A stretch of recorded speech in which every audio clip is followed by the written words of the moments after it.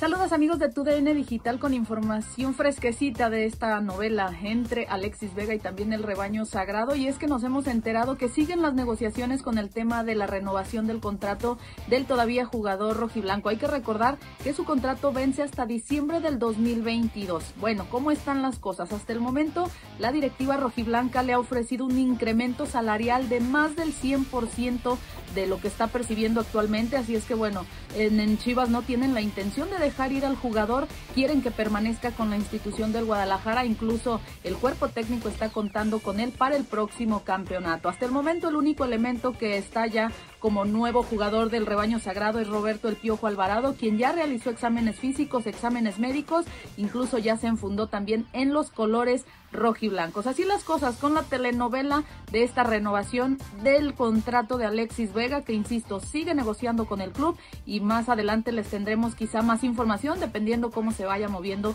toda esta información. Saludos a todos, no se despeguen de las plataformas de tu DN.